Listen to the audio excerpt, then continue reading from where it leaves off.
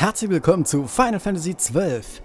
Ja, ich weiß, wir sind im letzten Part bei der Grabstätte von Race Worlds angekommen. Ich bin jetzt aber nochmal zurückgegangen, denn hier oben in diesem Abschnitt gibt es noch einen interessanteren Nebenauftrag. Und die Belohnung dafür wird uns sehr nützlich sein im weiteren Spielverlauf. Deswegen lasst uns loslegen. Und gehen wir einfach mal hin. Ihr seht, ich steuere auch gerade wieder Basch, weil ich der Meinung bin, er braucht ein bisschen Training, genauso wie Asch. Auf jeden Fall unsere Schwarzmagierin, ne? Ist unentbehrlich. So. Dann lasst uns mal hier durchgehen. Ich weiß jetzt allerdings nicht mehr, wo genau sich dieser Auftraggeber befindet. Auf jeden Fall sollten wir uns da ein bisschen vorbereiten. Was das sein wird, das werde ich gleich noch erwähnen. So. Aber wie gewohnt, die normalen Kämpfe hier, die man halt auf dem Weg zu irgendwas hin macht, ne? Und natürlich auch wieder auf dem Weg ein paar Schätze einsacken, denn wir sind ein kleiner Grabräuber und Schatzräuber und deswegen gehört das alles in unsere Tasche hinein. Da habe ich auch schon eine 21er Serie, wie ihr seht. Und ich erhoffe mir dadurch einfach mal ein bisschen mehr Sachen hier, ne?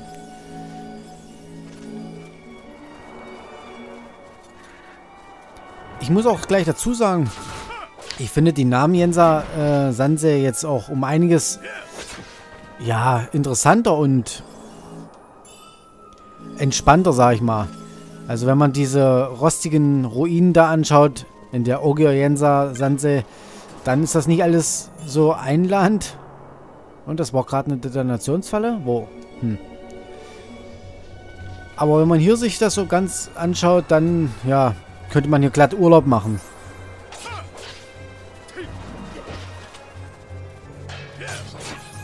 Deswegen mache ich auch hier gerne ein paar Kämpfe hier, als anstatt in der Ogia Jensa Sanse. Gut. Nun sind wir aber auch nicht hergekommen, hier, um hier nur zu kämpfen. Und deswegen werde ich gleich mal ein bisschen durchrushen.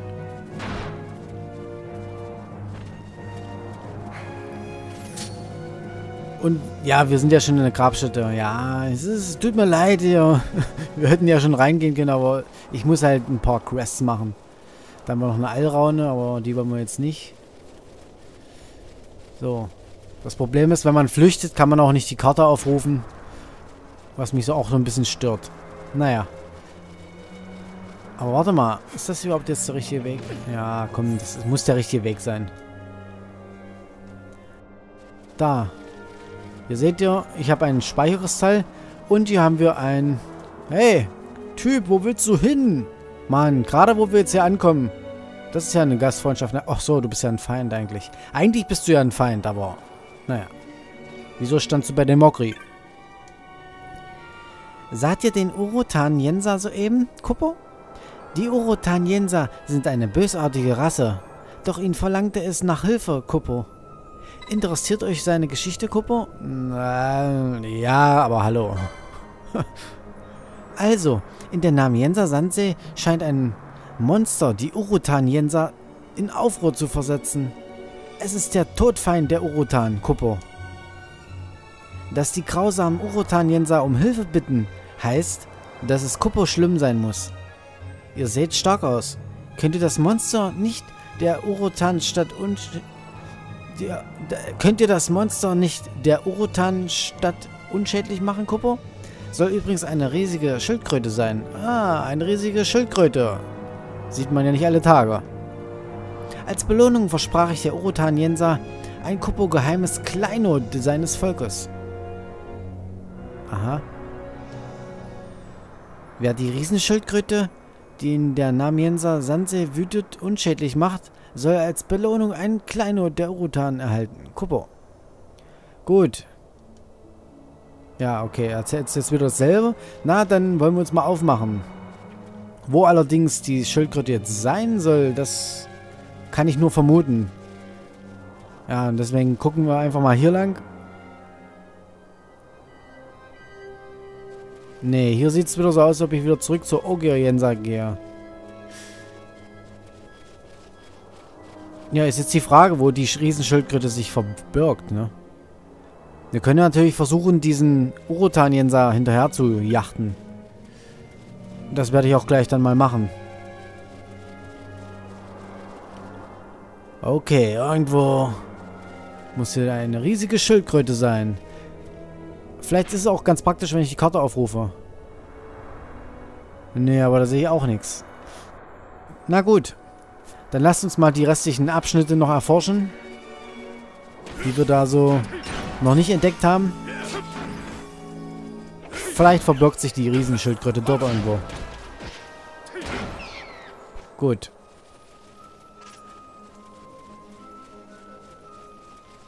Okay. Okay, Basch, dann zeig mal, was in dir steckt in einer Wüste. Okay. Bestimmt jede Menge Sand in den Schuhen, aber... So als äh, Charakter hatte ich eigentlich Basch auch ziemlich stärker noch in Erinnerung, als ich ihn auf der Playstation 2 gespielt hatte. Deswegen habe ich ihn ja jetzt reingenommen. Ne? Ja, die führen auch wieder ordentliche Rammen aus. Egal. Okay, Ladies, dann folgt mir mal. Ach so, ja. Und Forstler natürlich. Also drei Ladies insgesamt. Dann müssen wir mal gucken, wo sich hier die riesige Schildkröte verbirgt. Ja, und ich höre mich wahrscheinlich gerade wieder sehr, sehr komisch an. Hey, warte mal, da ist doch... Es sah gerade so aus, ob da irgendwie so, wie so eine ja, kleine Arena ist. Könnte ein guter Ort sein, um irgendwelche... Hey! Ah, da ist es, okay. Dann hoffe ich mal, dass die... Halt, halt, halt. Seht ihr das? Die Urotan kämpfen jetzt gegen die Schildkröte. Deswegen ist es natürlich nicht gut, wenn wir die Urotan selbst angreifen. Ja, und deswegen möchte ich erstmal meinen Gambit umschalten dass nicht hier meine Teammitglieder die Urotan automatisch angreifen, sondern nur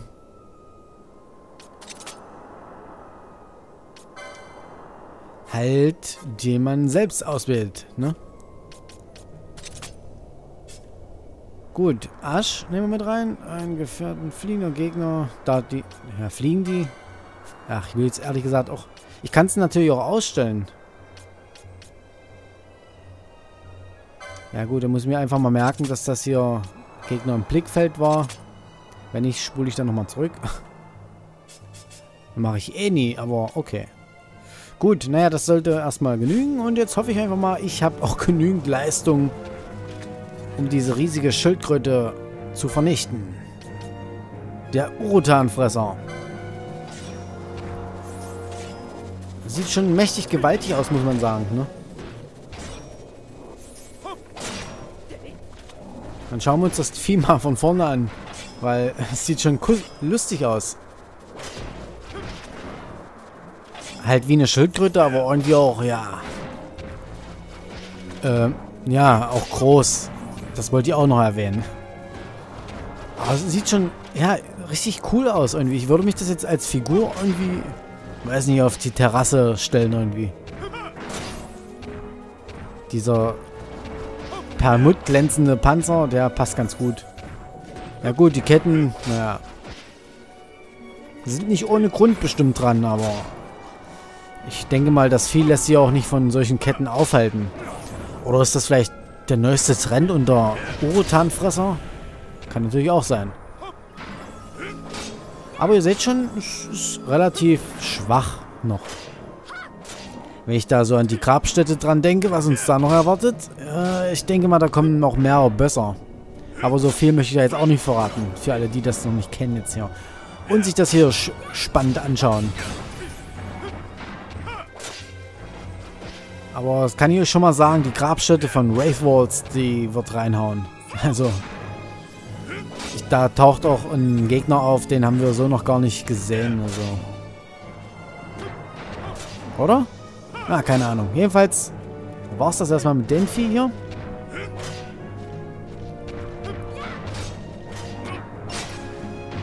So, okay. Dann Urutanfresser wurde besiegt. Geht's auch wieder zurück zu unserem Auftraggeber. Ja, ein bisschen komisch, warum sich der Mokri jetzt so für den Urutan-Leuten hier einsetzt. Und auch ein bisschen komisch, warum wir dann diesen Auftrag annehmen. Na, ich mache das halt nur der Vollständigkeit halber. Seht ihr, jetzt werden wir auch schon wieder angegriffen von den Orotanen. Als Dankbarkeit, dass wir sie gerettet haben. So läuft das hier ab in der Wüste. Knallhart geht's zur Sache. Wo jeder jeden ausspielt. Ich könnte wetten, das machen sie auch untereinander. Mensch. Aber nee, die Urotan würden sowas niemals tun.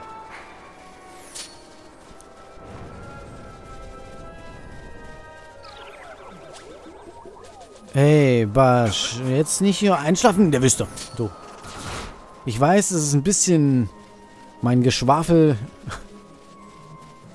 bringt auch dich zum Schlafen, aber... Und die Wüste ist auch relativ warm und man kann ein schönes Nickerchen in der Mittagssonne machen. Aber, naja, muss jetzt nicht unbedingt sein. Schließlich hast du ja einen Auftrag und ich habe dich hier zum Teammitglied, äh, Teamführer gewählt. Also.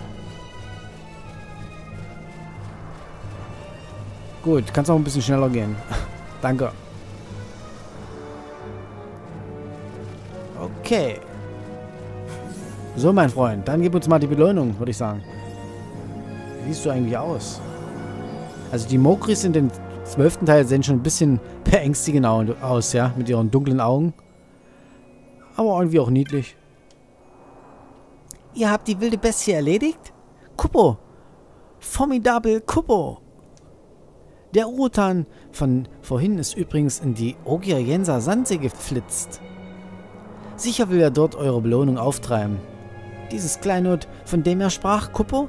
Keine Sorge, die Urutan sind rau, doch rechtschaffen. Ah ja. Gut. Ja, ja. Ja, jetzt ist der Typ in der Ogio-Jensa Sandsee, aber... Ja. Muss ich den jetzt auch wieder drei Stunden suchen? hey, und... Hallo?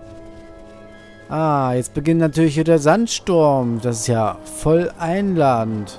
Da habe ich jetzt voll Bock drauf, irgendwelche Leute zu suchen. Und eine Prise Kainpulver erhalten. Von Legacy of Kane. Da ist sozusagen keins Asche drin. In Ironie des Schicksals. Hey. Hey Typ, hallo, hier sind wir. Hallo. Bist du die Belohnung suchen gegangen, Kupo? Und? Warst du erfolgreich? Äh, kann der Typ auch mal stehen bleiben, wenn man sich mit denen unterhält? Kuppo, wo rennst du denn hin? Kuppo, willst du etwa zurück zu deinen Freunden?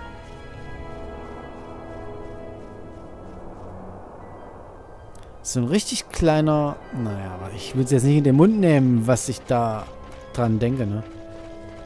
Da geht man auch nicht so mit den... Ach, vergiss es. Gut, naja.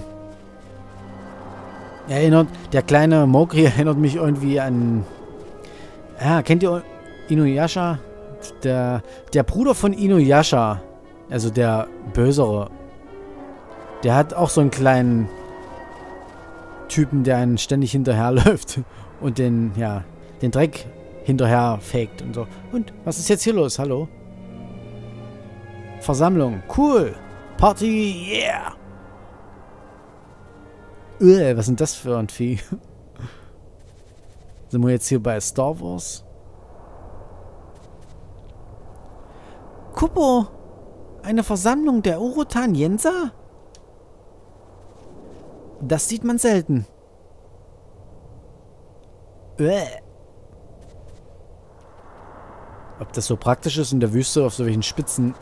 Naja. Kuppo? Kuppo, Kuppo? Kuppo, da geht was nicht mit rechten Dingen zu, Kuppo. Kuppo, nein, das darf nicht geschehen. Der arme Urotanienser soll hingerichtet werden, Kuppo.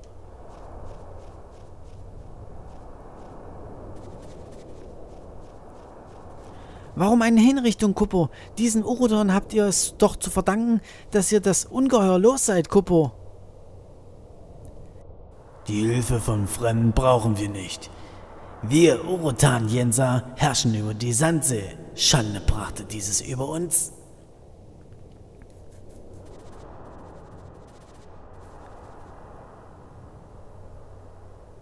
Und du, Verräter, deine Worte interessieren mich nicht. Werde wieder zu Sand. Jetzt! Nein! Wo, wo, wo ist der? Kuppo! Mach, dass er wieder zurückkehrt. Kuppo!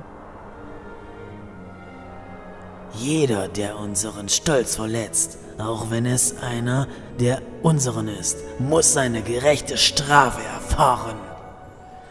Auch dir bereitete ich nur zu gerne ein Ende, aber heute will ich dich ausnahmsweise gewähren lassen. Doch will ich dich hier nie wiedersehen. Verschwinde aus unserem Territorium, und zwar schnell.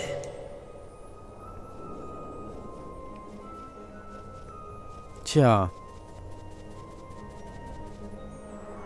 Und ihr seht, jetzt ist das irgendwie eine dramatische Geschichte geworden. Hm.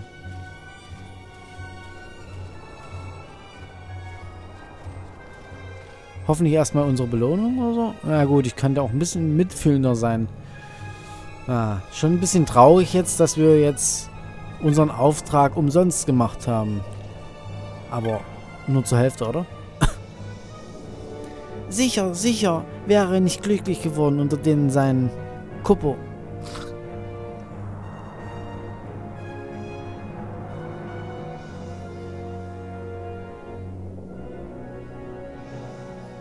Seht ihr? Dort wächst eine Blume, Kuppo. Genau an der Stelle, wo der arme Urutan verstarb.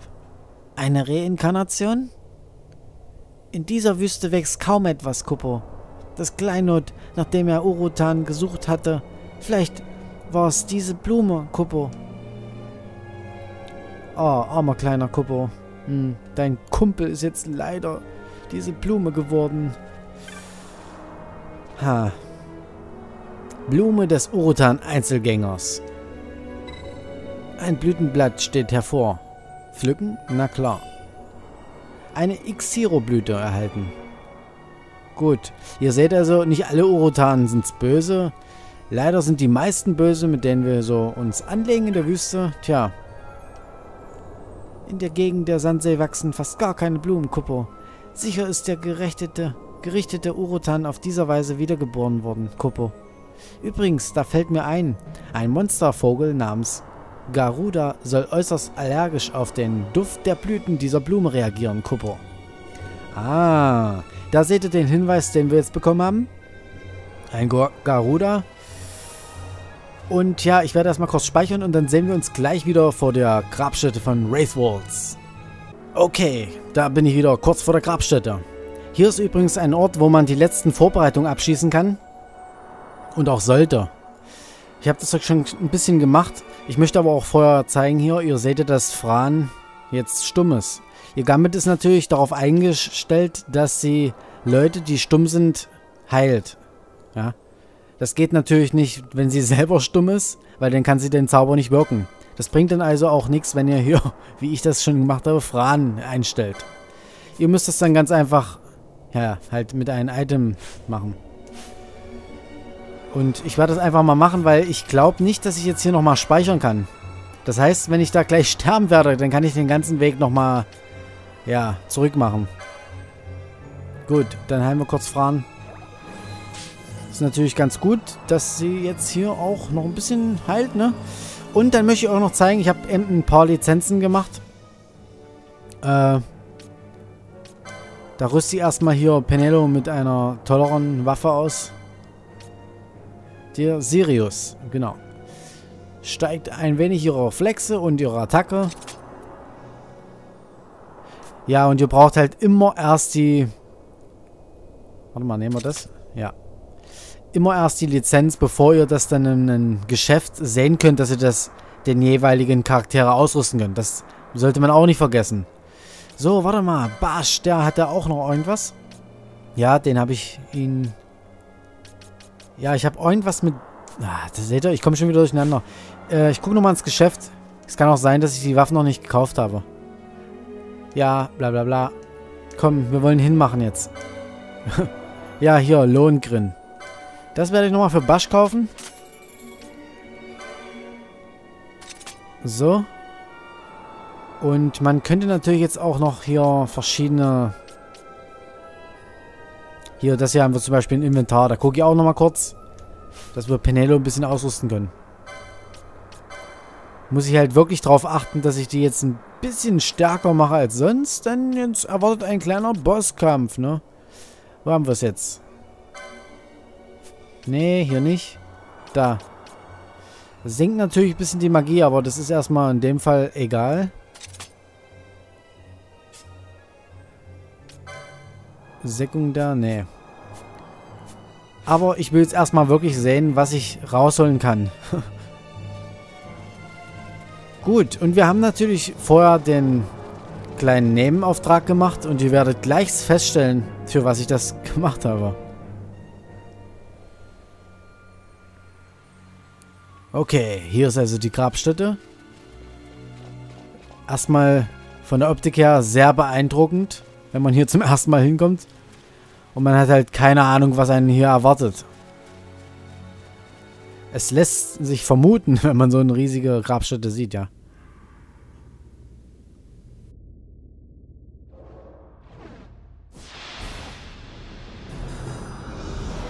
Ein etwas größerer Vogel. Hm.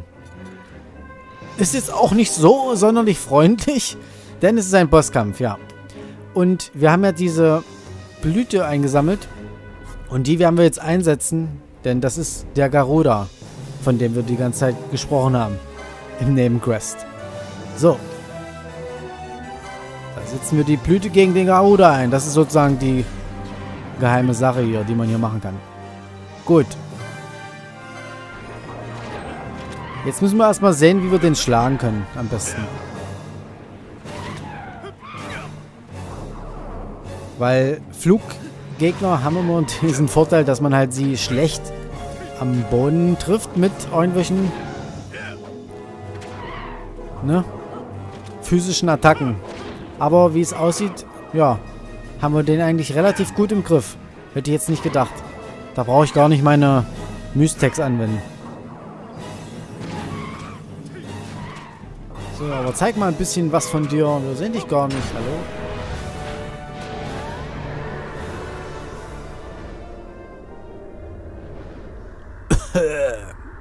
Mach den Mund zu, du. Okay, das war der Garuda.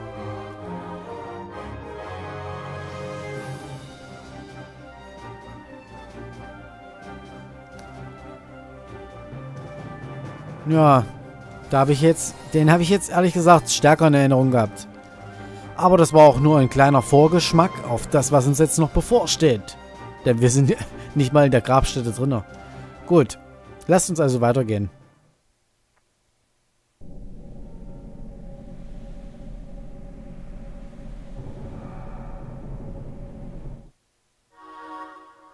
Der alte Mechanismus wurde aktiviert. Und das nur, weil dieser Garuda-Vogel den Kampf verloren hat.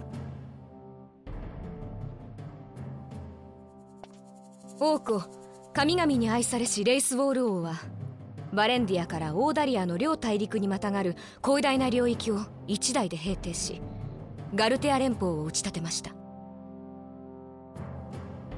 覇王と呼ばれてはいますが連邦樹立後のレイスウォール王は民を愛し無用の戦を憎みその精神は後継者にも受け継がれ平和と繁栄が数百年もの間続いたのです。アルケイディアもロザリアもその源流はガルテア連邦に属していた都市国家でありレイスウォール王が築いた平和の中で生まれ育ったようなものです。レイスウォール王は覇王の血統の証となる3つの遺産を残しました。そのうち夜行の再編は後のナブラディア王家へ渡り黄昏の破片はダルマスカを建国した我が父祖へ。最後の一つ。暁の断片はここに封じられてその存在は王族にだけ伝えられてきたんです。覇王は今日の事態を見越しておられたのでしょう。代々の王のみに許された場所ですから証を持たない者が立ち入れば。生きて帰れる保証はなし。墓守の怪物やら悪趣味な罠やらそんなところか。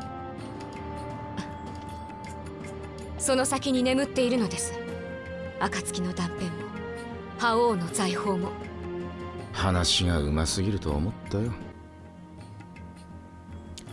Tja, okay, da haben wir also erfahren, dass ja diese Grabstätte mit den ja diesen Reichen hier zu tun hat und deswegen befinden wir uns ja auch hier, um halt äh, den Beweis von Prinzessin Asch zu finden, ne?